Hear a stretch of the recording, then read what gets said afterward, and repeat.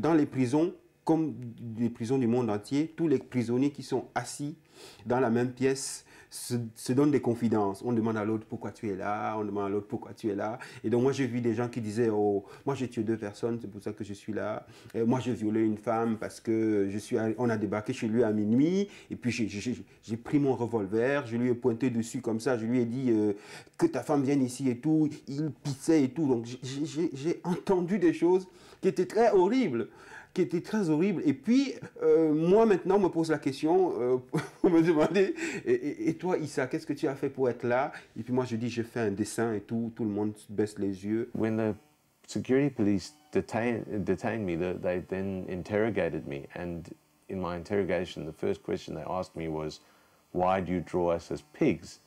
I was referring to that poster amongst a couple of other things. They said, why do you draw us as pigs? I said, I draw what I see. and then they, then they put me in solitary confinement.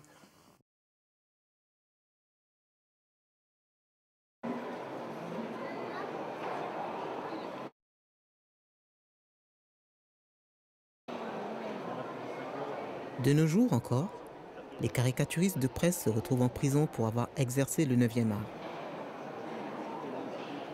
Je m'appelle Willy the Kid. Je suis dessinateur et je sais que ce métier en Afrique n'est pas toujours drôle mais nous en reparlerons plus tard. Les dictateurs de droite ou de gauche ont tous peur de la caricature encore plus que de la bombe atomique. Hitler avait mis sur la liste des personnes à supprimer par la Gestapo les caricaturistes qu'il avait dessinés. La caricature agit comme un baromètre de la démocratie. La liberté d'expression est très fragile dans un continent où les dictatures foisonnent. On ne compte plus le nombre d'intimidations, d'emprisonnements, de tortures, de disparitions et même d'assassinats dont les dessinateurs sont victimes en Afrique aujourd'hui. Je me demande ce qui nous pousse à nous acharner autant, à continuer de travailler et à produire dans de telles conditions. Peut-être que c'est ce que Mahatma Gandhi appelait satyagraha, qui vient du sanskrit satya, vérité, et agra, recherche poursuite, une revendication de la vérité avec la particularité de ne jamais recourir aux armes. Gandhi avait inventé ce terme en Afrique du Sud en 1906 pour décrire sa philosophie de la résistance non violente.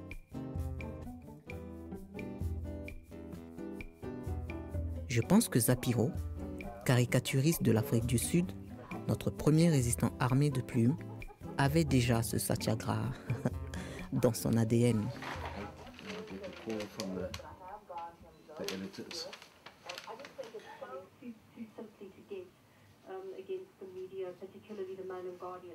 So hopefully this is an indication that the tide is starting to turn.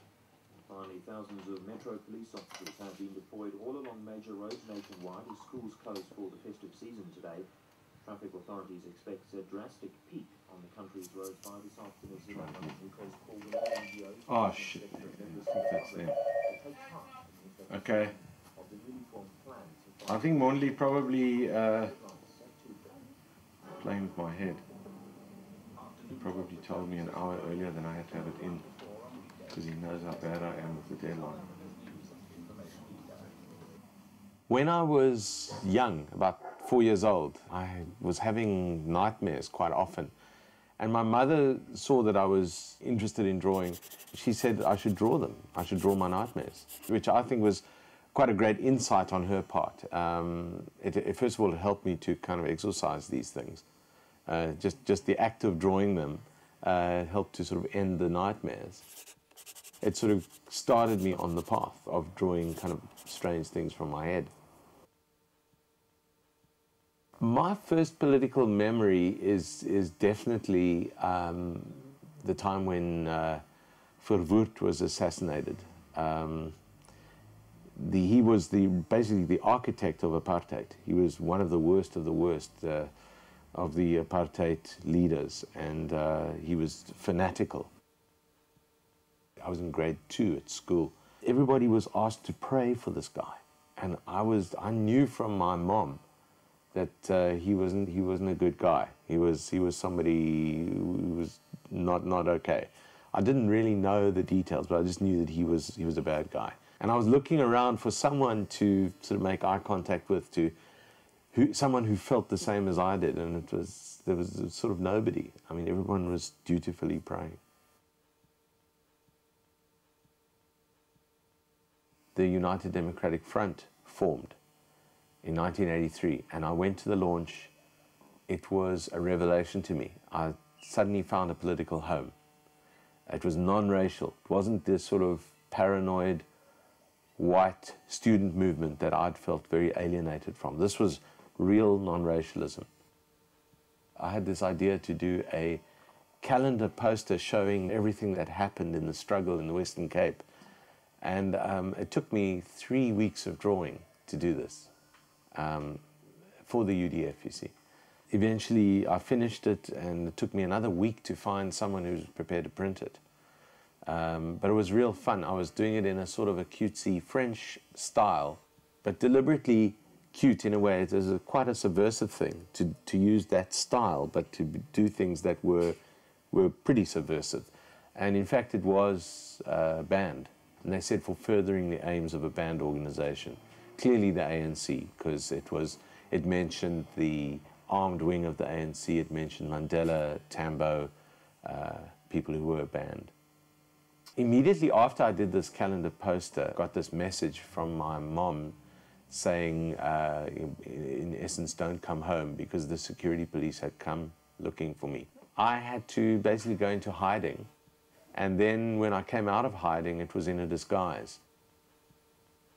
The thing you have to uh, realize about Zapiro is that working in the new South Africa, um, the, the kind of freedom that the, our new constitution gives political cartoonists is very, is, is almost completely the opposite to the conditions under which cartoonists used to work prior to that. The work that he produced then was like brilliant. And when I first saw it, I can remember when I first saw it in those days, I was like, wow, who's this guy? I mean, where did he come from?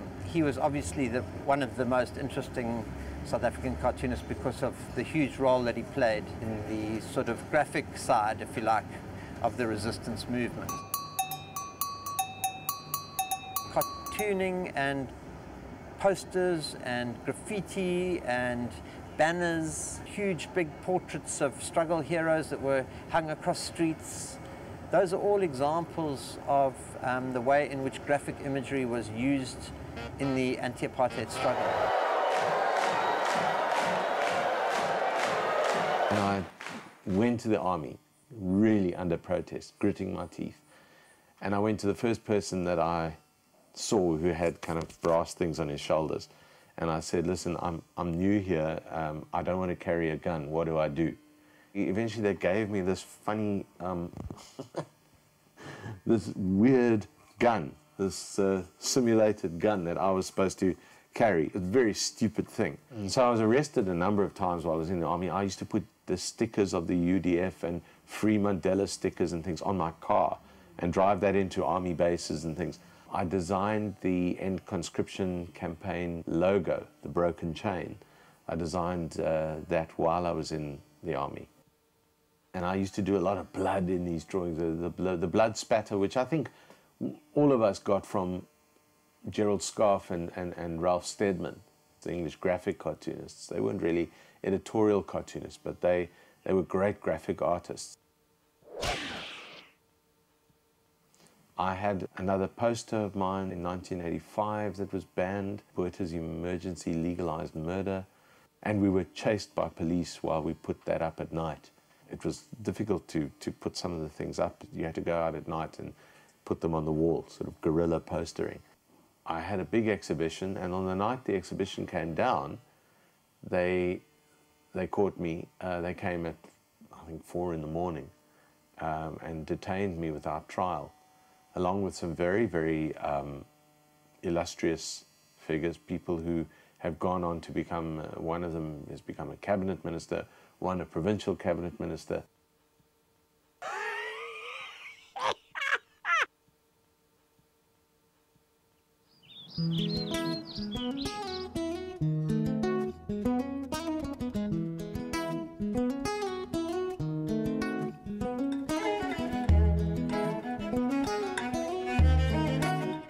was an ordinary day, and um, I didn't know it was really him. I, I, thought it was one of my friends because the, this person said, hold on for President Mandela. And I thought, yeah, yeah, yeah, somebody's having a joke. And then this voice came on and he said, uh, he said, hello, uh, is that uh, Zapiro? And then he says, uh, this is uh, President Mandela. And I, I said, uh, well, it sounds like you, so it must be you. Then he said, uh, I'm very upset with you. And I, now I knew it was him, and I said, I'm, I'm sorry, why?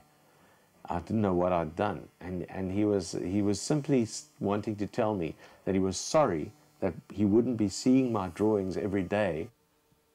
And I said to him, you know, I'm so honored that you actually phoned me yourself and you, you actually did this yourself. You pick up the phone. Couldn't believe it.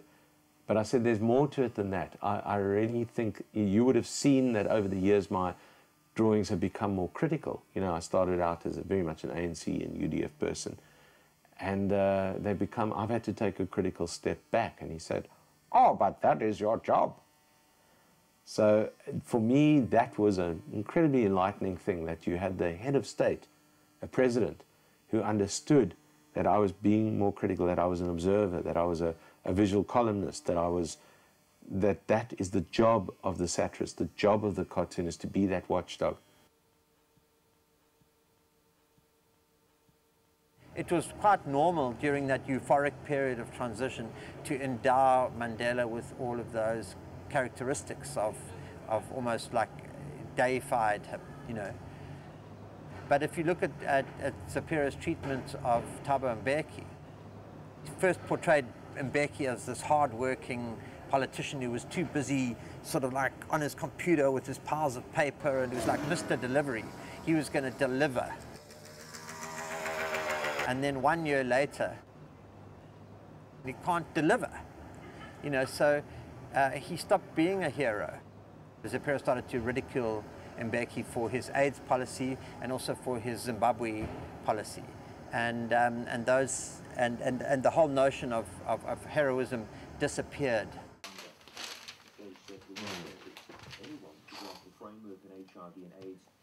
No, I've got to clean up where I made a mess.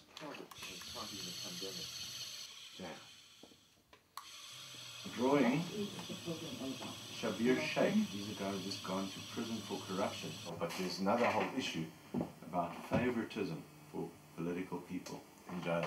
He's at a private hospital and he's got all the luxuries and his brothers have been bringing him stuff. So I'm, that's essentially where I'm playing with that. my pride and joy. My little electric eraser. See, there's lots of scrolls and scrolls and scrolls, and eventually, when it starts to come together, then it actually it, it's there. It's there in the book. I usually start with words, and just eventually it becomes something, and then I know that I've got an idea, and then I develop it up to about that stage in this book. And then from that stage, well, this is almost completely, I did the same thing today. It's almost a complete cartoon, it just needs to be finessed. So then what I do is I take that and I put it on the photostat machine, blow it up, put it on my light box, and that's what I've got underneath here now. This is a, is a sitcom cartoon as opposed to conceptual. It's all about the, it's about the situation comedy. So you, you have to get the expressions and the and the size of the people and all the different details very carefully. Well, that's that's my way of doing it. I'm, i know that other people do different things. The Dom Perignon and the Johnnie Walker whiskey, and the d'Or chocolates and the turkey and the Havana cigars and all of that. So these guys, I mean, they've got no shame.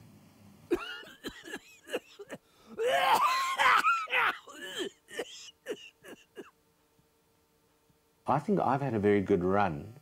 Uh, if you think about, you know, 12 and a half years of cartooning at this pace in post-apartheid South Africa, for example, in the United States, I mean, in mainstream newspapers, they can't do anything like what we can do here. And I push the boundaries a lot, and I do things that are really, really rude, you know, uh, with, with, with all kinds of signs and symbols and farts and whatever.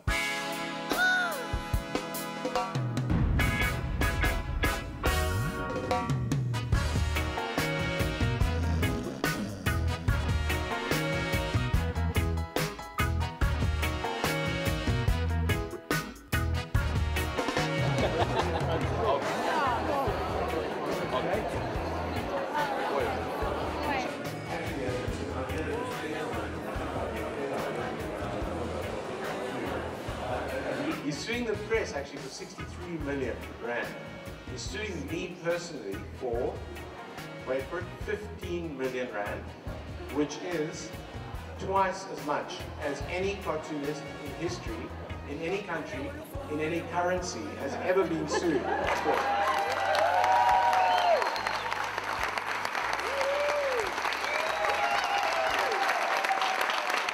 We actually laughed when we when we were sued by him, and it's just another. And Zapiro went and drew a cartoon of Zuma suing him. So it's one big joke for in, in this country.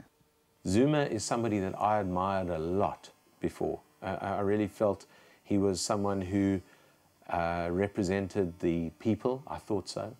Uh, I thought he was a man of the people. He certainly paid his dues in the struggle. He was imprisoned. He was uh, he was a, a, very very important cog in the machinery of the struggle. And uh, I thought he was doing quite a good job, even as he became deputy president. And then I began to hear, you know, what was happening uh, around the arms deal and potential corruption there and and then I saw how he was reacting and how he was marshalling a kind of a populism which is very dangerous. And uh, I started going for him.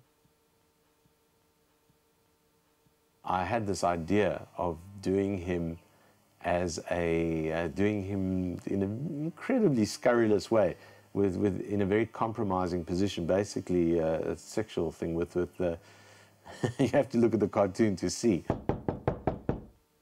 the editor has my outgoing number. It's got a different ring, a kind of a high pitch. Anyway, this phone rings, and this uh, this voice says, "You are one sick mother." That particular cartoon was a very sick one, and I, yeah, it was too much, and I, and I said no to it. It was the only time I've ever said no to a cartoon from him. So then he said, "But don't give it to anyone else." So I said, why? Why do you think it, it, may, it may get that rough that we can use it? He said, maybe. Anyway, about six months later, I'm sitting at my board and I'm just doing my drawings, and that same little high pitched phone rings, and uh, I pick it up, and the, a voice says, It's time. and I said, For the Zuma drawing. And he said, Yes. I said, Yes.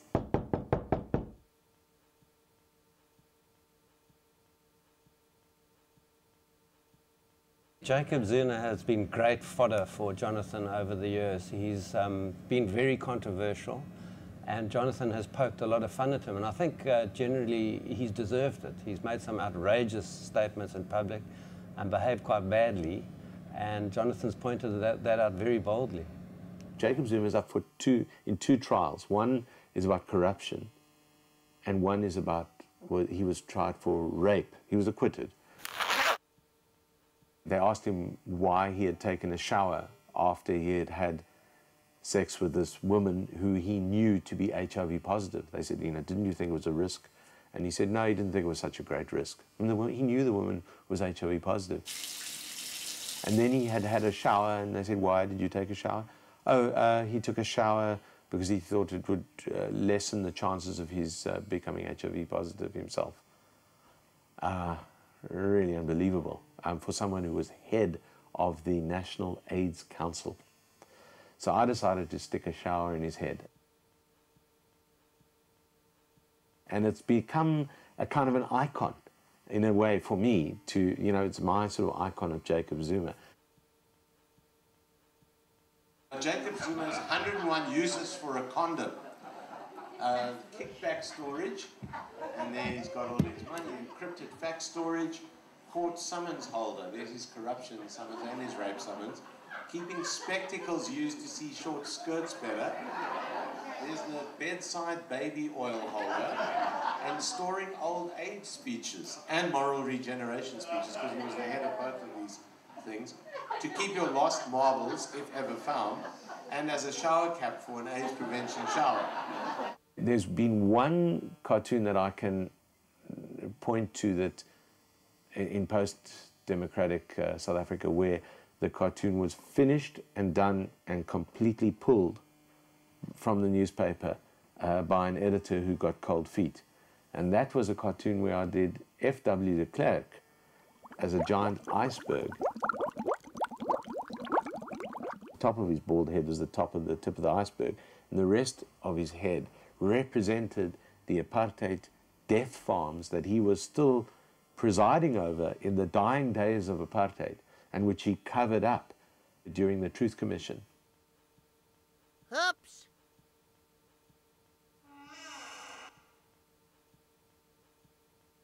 Major target, whew, George W. Bush. And it's always a challenge to do something like that that everyone else is doing.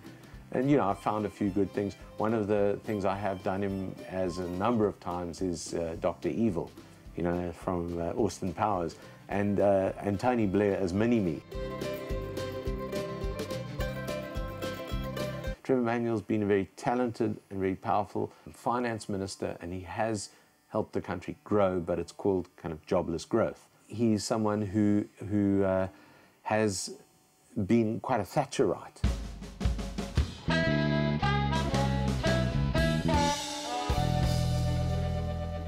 And then, uh, of course, uh, up north, uh, Robert Mugabe, major, major target, absolute despot. Can't understand why South Africa protects him the way they do.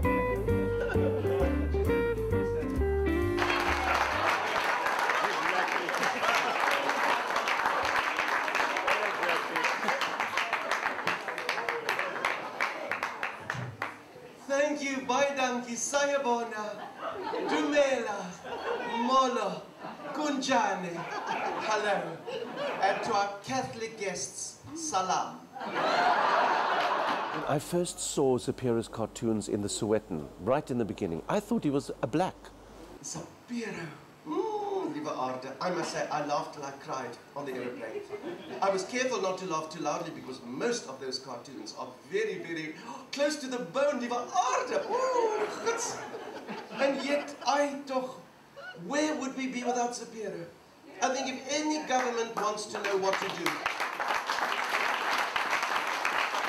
In the New Democracy, he has been extremely critical of his own roots as, as a struggle veteran. any government of the day just has to look at their Zapiro cartoon of the morning and know what not to do. I think it is very important, especially now where we have freedom of speech but no speech. Why do we have no speech? Because people are scared to criticize. Because if they're criticized, if they criticize the government, they are called unpatriotic.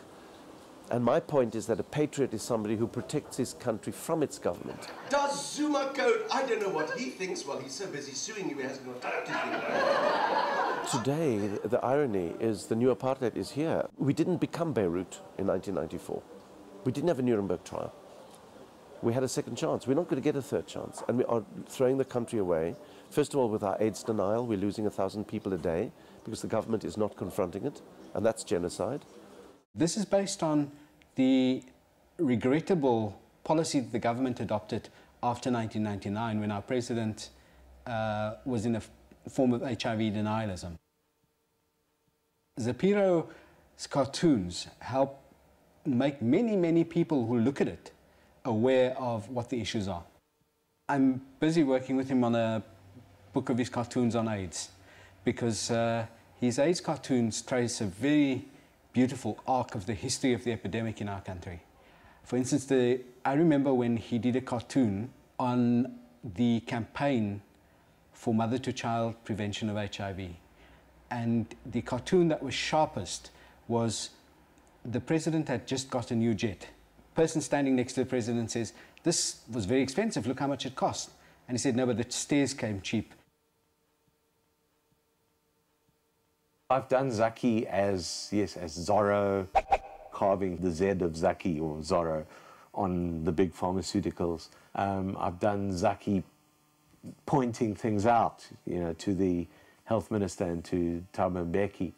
Uh, he's always sort of the one who's, who's, who's actually pointing and saying, go here, do this, do that.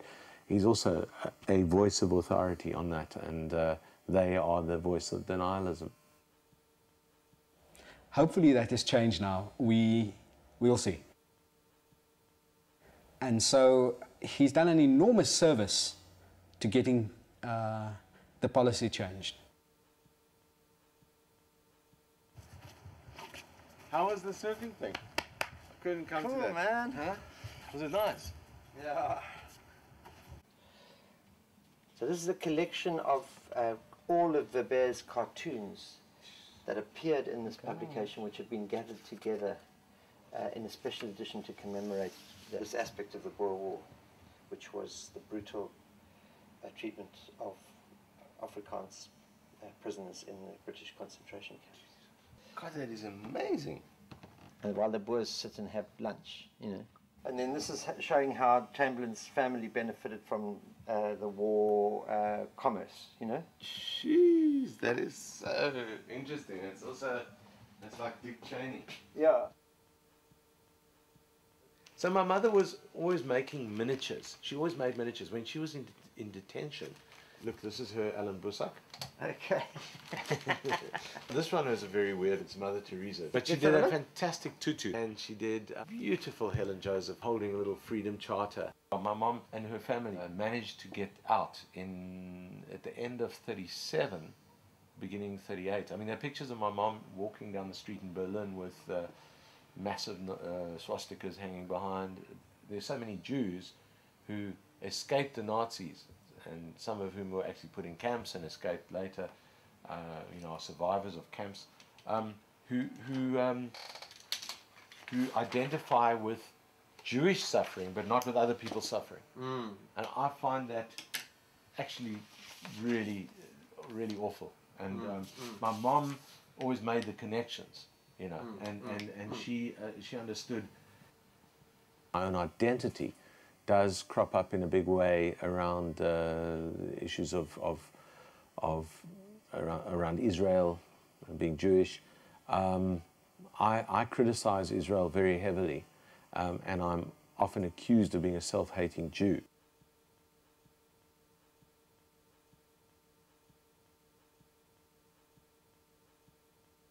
I'm, I'm a skeptic, but I'm not a cynic. I, I'm skeptical in the sense that I'm, I'm reading between the lines and I don't take things at face value. But I certainly feel that if I were to become an all out cynic, then I would just change jobs because I, I wouldn't want to be a cartoonist. I'm not an all out cynic. I'm, I'm, I'm, I'm, I, I describe myself as a patriotic skeptic.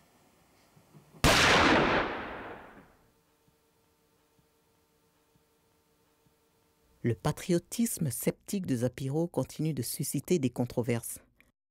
Voilà Zuma en Homer Simpson.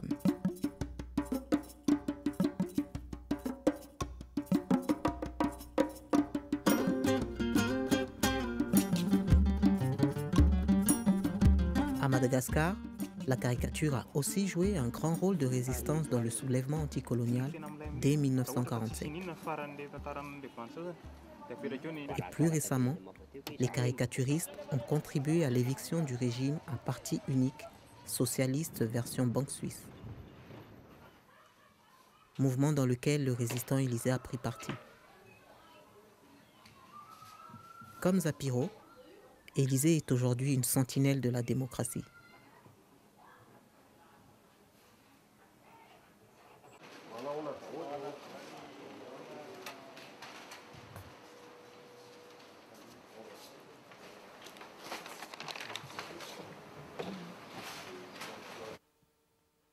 Le Fonds monétaire international, la Banque mondiale sont ses cibles principales avec l'ingérence massive des affaires religieuses dans celles de l'État. Sans oublier non plus la croissance fulgurante de l'empire du président Marc Ravalomanana, à l'origine propriétaire d'une simple usine de yogourt et aujourd'hui propriétaire de la quasi-totalité des entreprises de l'île. En Algérie, le caricaturiste Ali Dilem a accumulé plus de 50 poursuites judiciaires, à tel point que les récents amendements du Code pénal sont surnommés amendements Dilem. Ces poursuites viennent principalement de la part de la présidence et de l'armée.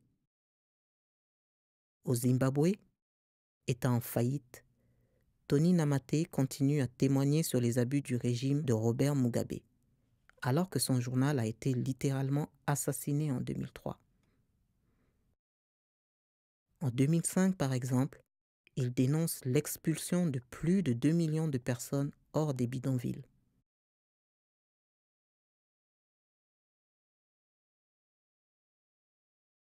Au Cameroun, Issa et Youm, qui ont travaillé sous le régime totalitaire de Paul Biya, ont aussi été en première ligne dans la défense du 9e art. Merci. Merci, Monsieur le Président. Mesdames, Messieurs, chers parlementaires réfugiés, vous sentirez l'émotion me nouer la gorge. C'est normal, je vais y arriver. C'est grâce à cet appel de Paris et à l'occasion du 50e anniversaire du ACR que je me permets ce jour de vous apporter mon témoignage, le témoignage de mon exil. Mon père, un homme très éclairé, me disait, mon fils, dessiner les hommes politiques, c'est très dangereux et je n'ai pas écouté. Donc cela m'a valu un séjour en prison, puis des menaces de mort, des représailles, puis la fuite précipitée vers l'inconnu, vers l'exil, sans emmener aucun membre de ma famille. La France a été mon pays d'accueil. Comme la plupart des réfugiés, je n'ai pas choisi mon pays d'accueil, mais je l'ai accepté.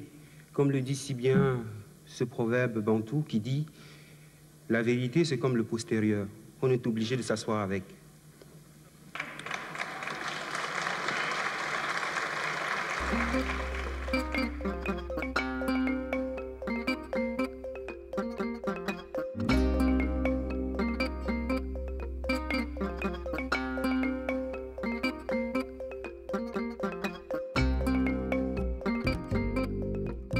J'ai commencé comme caricaturiste euh, dans les années 90 au Cameroun. Le journal s'appelait Le Combattant, mais il produisait un satire qui s'appelait Le Moustique déchaîné.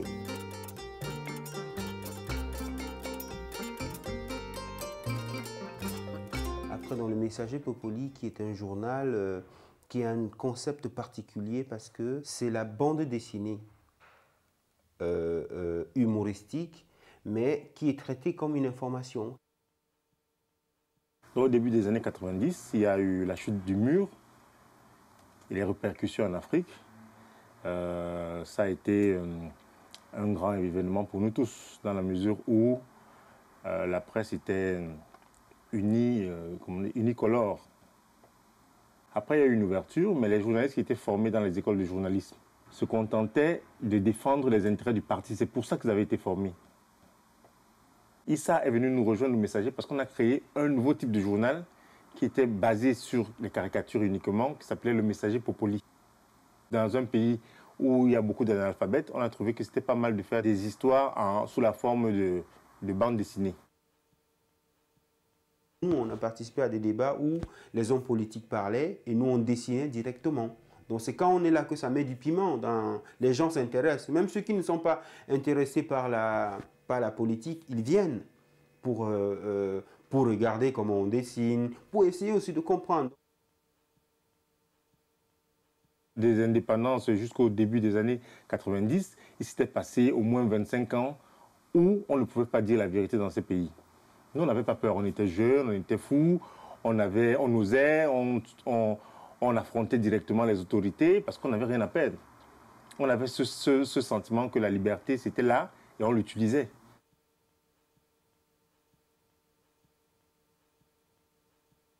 À l'époque au Cameroun.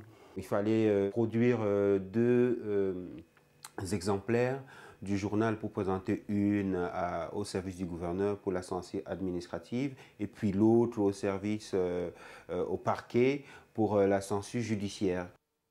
On dormait même à l'imprimerie. Il y avait des moments où on contournait la censure. On avait trouvé un trou dans le mur de l'imprimerie.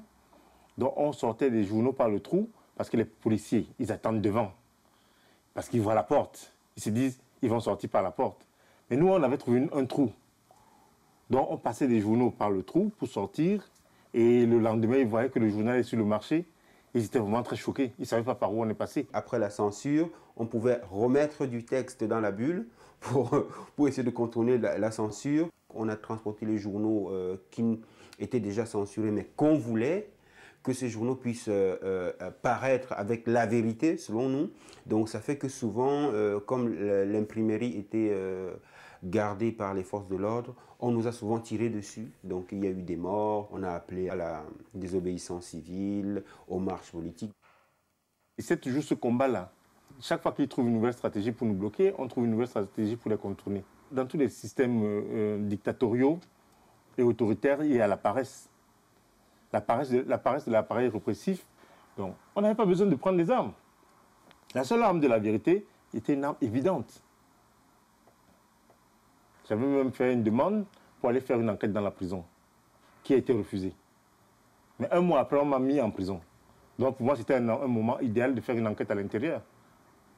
Autant ici, la privation de liberté, c'est rester dans une cellule avec une ou deux personnes, faire une promenade dans la journée, revenir le soir au réfectoire, euh, dormir, avoir la télé. Mais là-bas, c'est d'abord un endroit qui est trop plein.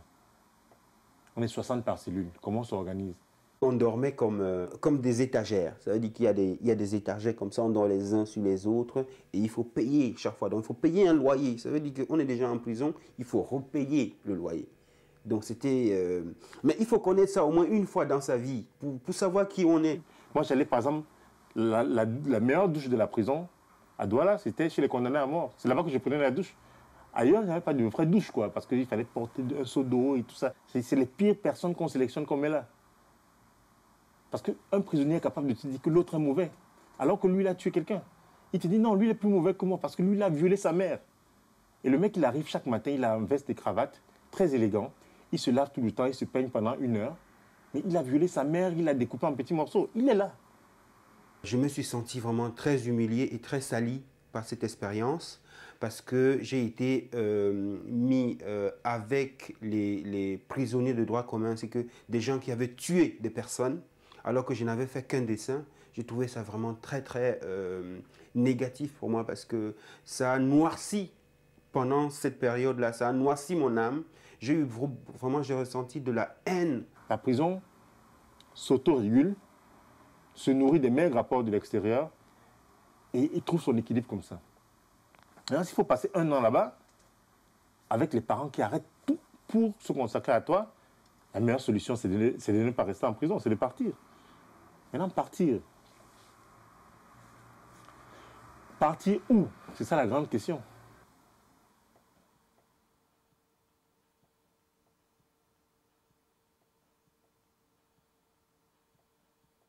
C'est ça le problème de l'exil des Africains. C'est-à-dire qu'on quitte des régimes qui nous menacent, on va à la source de celui qui nous crée des problèmes.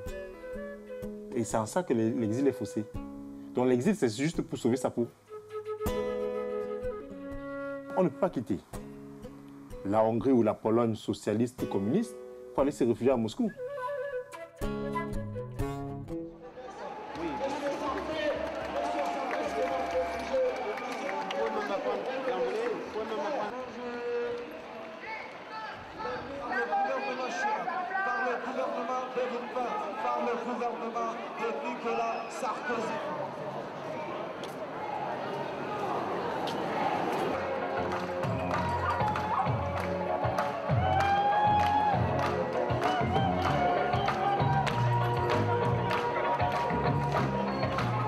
En 97, l'année où je suis arrivé, il y a 20 journalistes qui avaient été tués en un mois. 20 journalistes qui avaient été tués en Sierra Leone, rien qu'en Sierra Leone. Donc, dans de tous les pays d'Afrique. Donc, à partir de 93-94, les journalistes ne pouvaient plus y vivre. Les journalistes qui, étaient, qui voulaient faire leur travail. Donc, ils étaient obligés de partir. C'est bon. Bonjour, nous revenons donc à Pépé Soupe avec notre invité. La loi change tout le temps pour les immigrés, pour les exilés qui ne sont pas du tout attendus. Donc, on s'est mis d'abord dans cette association pour connaître la loi et ensuite accueillir ceux qui arrivent à nous de nouveau pour qu'ils n'aient pas les mêmes difficultés que nous. Donc c'était dans une structure d'accueil pour eux. Salut. Donc là, c'est des différentes décompositions de mouvements et là, en dessous, euh, c'est des illustrations, euh, des dessins de recherche euh, personnels. Parfois, je découvre quelqu'un trois mois après son arrivée, quand on a déjà rejeté sa demande d'asile. C'est à ce moment-là que je le vois dans une association où il dort avec des clochards. Il, est, vraiment dans une situation de précarité terrible. Et puis il me dit, je suis caricature. Je lui dis, mais, qu'est-ce que tu fais là? Normalement, il faut, voilà la procédure qu'il faut suivre. On recommence à zéro. De tous les combats que j'ai menés, euh, la liberté de la presse, les droits de l'homme et tout, euh, la seule chose pour laquelle je suis fier, c'est que je n'ai jamais tué personne. J'aurais pu mal tourner parce que, euh, voilà, euh, à un moment donné, dans la lutte euh, de la liberté de la presse au Cameroun, on s'est dit peut-être qu'on pourrait prendre des armes et tout ça. Il y a un arrière-goût chez moi quand même, c'est que partir en exil, c'est comme un sentiment d'échec quand même, parce que c'est comme si tu avais commencé quelque chose que tu n'as pas fini. Et, et c'est comme une boule quand même qui me reste là, parce que j'ai une sorte de frustration parce qu'on a laissé quand même des gens sur place, la situation n'a pas changé. Voilà, il y a toujours ce sentiment-là. Et puis le fait que bon, on peut pas voir euh, des gens qu'on a aimés, on est parti précipitamment. Voilà, je me dois de dire ça.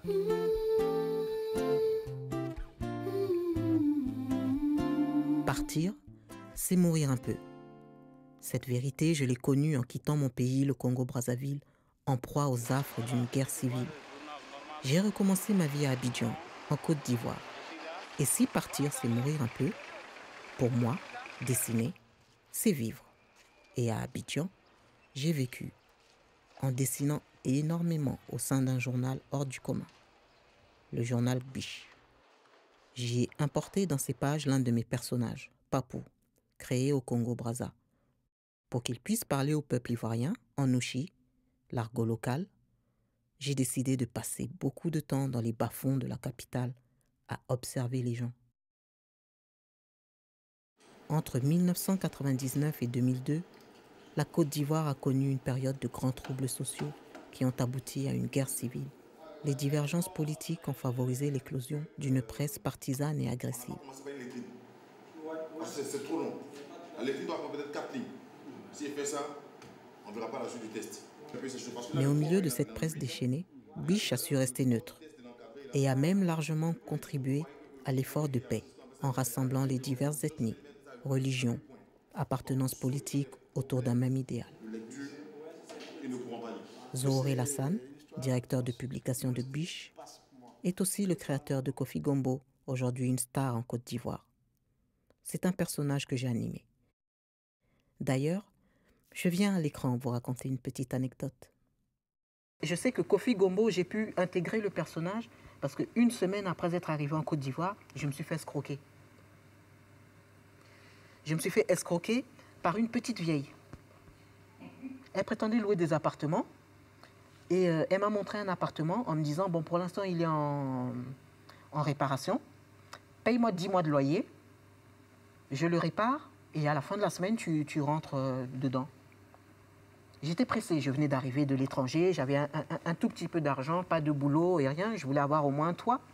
Je lui ai payé 10 mois de loyer. J'ai attendu la fin de la semaine. Elle a prétexté que les travaux n'étaient toujours pas finis. J'ai attendu deux jours de plus. Elle m'a demandé d'attendre une semaine de plus. J'ai attendu une semaine. Elle m'a demandé encore trois jours. J'ai attendu trois jours. Elle m'a demandé d'attendre deux jours. J'ai attendu deux jours. De fil en aiguille, j'ai attendu trois mois. Moi, un jour, j'en ai eu marre. Je me suis dit, bon, bah là, euh, je m'en vais la taper. Je suis non violent, mais bon, quand il faut. euh, Donc, je m'en vais pour taper la petite vieille, parce que je peux devenir méchant. Et j'arrive chez elle, je trouve 10 personnes qui ont eu exactement la même idée que moi, parce que ces 10 personnes, elle les avait escroquées de la même façon. J'ai eu pitié, je ne l'ai pas tapée, mais elle a fini en prison, cette petite vieille. Et on, l'amène en prison, donc euh, au poste de police, et les policiers disent Encore elle J'ai j'ai compris, compris la mentalité du, pays. Je me suis dit, d'accord, bon, euh, il ne faut pas que ça m'étonne, ça roule comme ça, ça fonctionne comme ça. Il faut que je m'adapte. Je ne dois pas être surpris, il faut que je m'adapte. Et cette petite vieille, moi, je lui, je- lui suis très re- reconnaissant parce que dès le départ, elle m'a montré qu'ici, il fallait faire attention.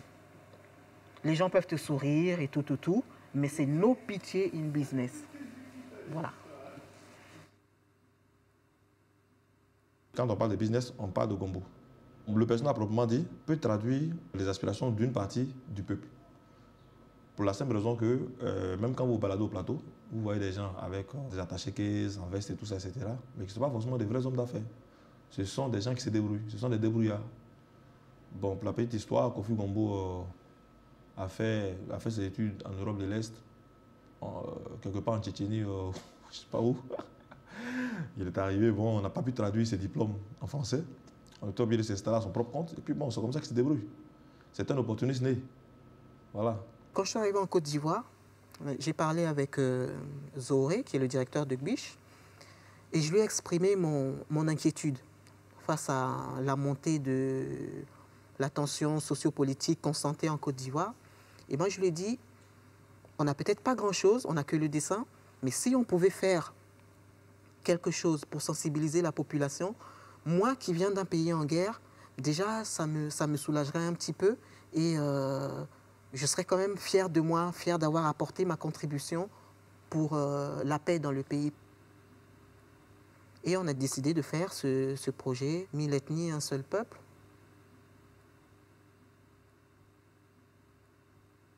Chez nous, nous avons quand même 60 ethnies. Hein. Je pense que c'est assez énorme. Mais chaque ethnie a vraiment, euh, a vraiment sa façon de faire.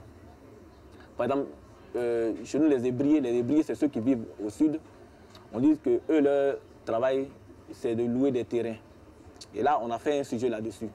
Quand on prend euh, les, Nzima, bon, moi, je fais partie de la tribu Nzima, nous ne sommes pas nombreux. On dit que nous sommes deux seulement en Côte d'Ivoire. Vraiment, c'est des choses pour rire. Les politiques ont utilisé tout ça pour euh, accentuer la division qu'il y a eu euh, à cause de, cette crise-là. Biche n'a pas attendu Ouaga pour rentrer dans le processus de réconciliation ou euh, de paix.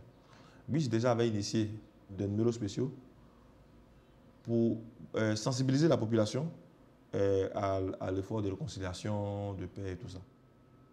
Nous avons exploité les alliances entre les ethnies pour sortir des spéciaux. Nous avons fait des photomontages entre les leaders politiques qui évitaient de se voir et qui ne pouvaient se voir que dans le parce que là, nous arrivons à faire des, montages photos et euh, on les retrouve à la même table. Mais pour les ramener à cette table-là, il a bien fallu quand même 5 ans pour, pour, pour, qu'ils s'asseyent à la même table. Mais Biche a, fait ça depuis. Donc au niveau de, de euh, au niveau de la réconciliation, Biche a beaucoup apporté et continue encore de le faire. Il faut qu'on plaisante sur les choses et il faut aussi que les, gens acceptent la différence et que c'est quand on est différent, c'est quand il y a plusieurs diversités qu'on peut aller vers un but commun.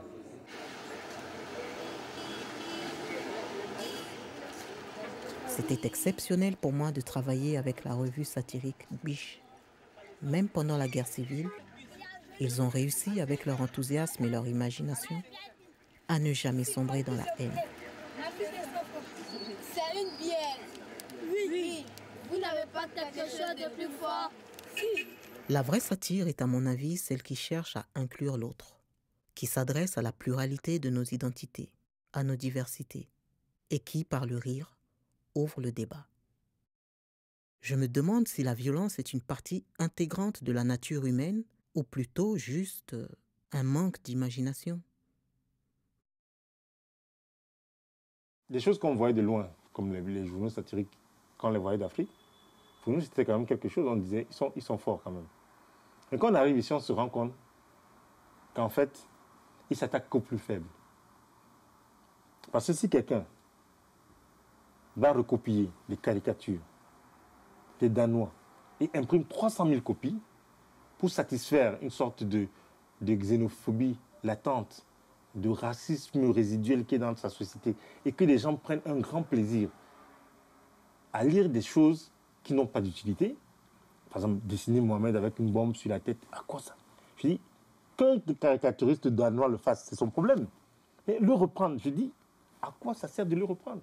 Est-ce que ça, c'est de la satire? I thought the Prophet cartoons, we never ran them in the Sunday Times. I like, I just thought they were very juvenile and useless. They were not even funny. I mean, like, they were, they were designed to offend. And whereas, I mean, like, and not to enlighten and give insight to anything.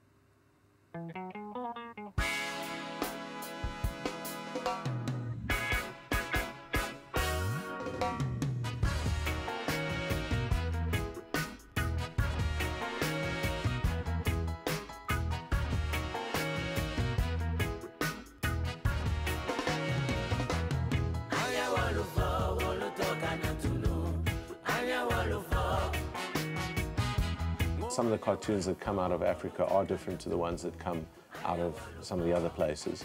And quite a number of, of cartoons reflect the disparity between North and South, particularly when you're talking about things like the World Trade Organization. I've done actually quite a lot of those, and also uh, the global monetary institutions like the IMF and the World, the World Bank.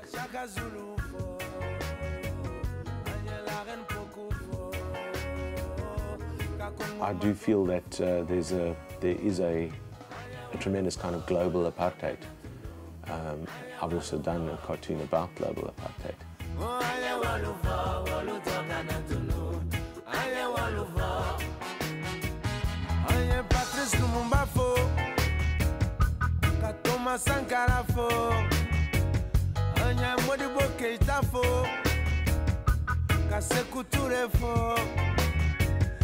Nelson Mandela fo.